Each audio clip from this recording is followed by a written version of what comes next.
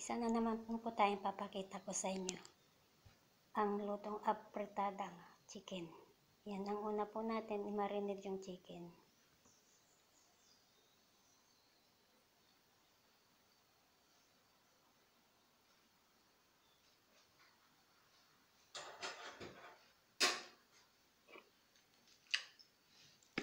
Tapos lagyan po tayo ng soy.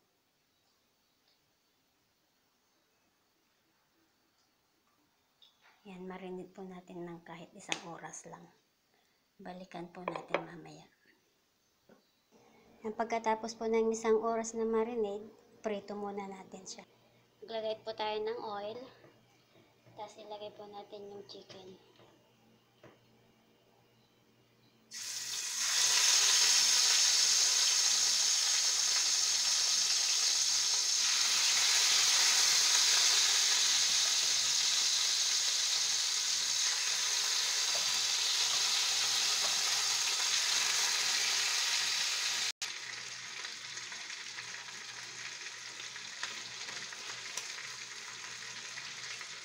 Hindi pa po yan luto. ah. Lulutuin pa po natin.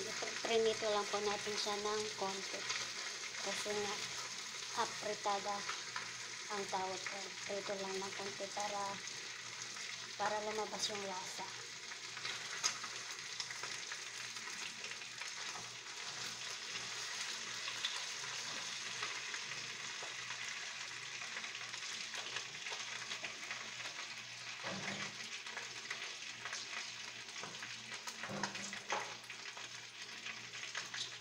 Tapos prito rin po natin yung ating potatoes at saka yung carrots.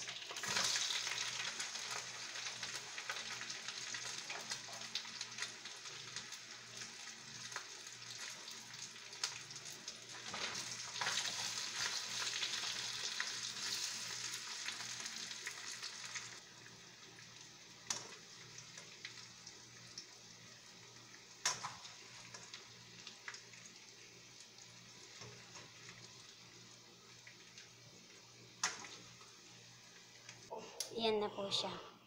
Tapos sunod po natin yung garlic. Pag lumabas na yung aroma ng garlic, ilagay natin yung sibuyas.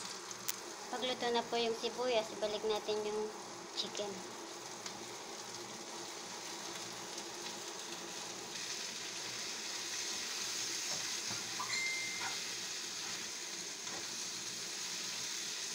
Kasi pinagmarinidan kanina ng chicken, balik natin dito. Maglagay din po tayo ng black pepper. Maglagay po tayo ng tomato, tomato sauce. Lagay na po natin yung ating patatas tsaka yung carrot. Maglagay din po ako ng sili pero optional lang po itong chili. Kung ayaw nyo po ng manghang, huwag nyo na pong lagyan. Mahilig lang po kasi sila dito ng manghang kaya linalagyan ko. Yan.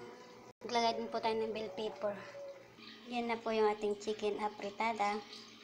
Yan, maraming maraming salamat po sa mga nag-subscribe. Yung mga hindi pa po mag-subscribe na po para po matuto tayo ng iba't ibang luto. Simple lang po yung aking mga linuluto pero sigurado po itong masarap. Kayang-kaya po ng bulsa.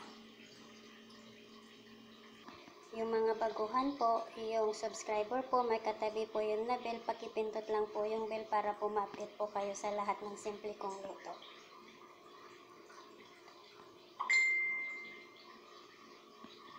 Sa susunod na video po, maraming maraming salamat po ulit. God bless. Chicken apritada.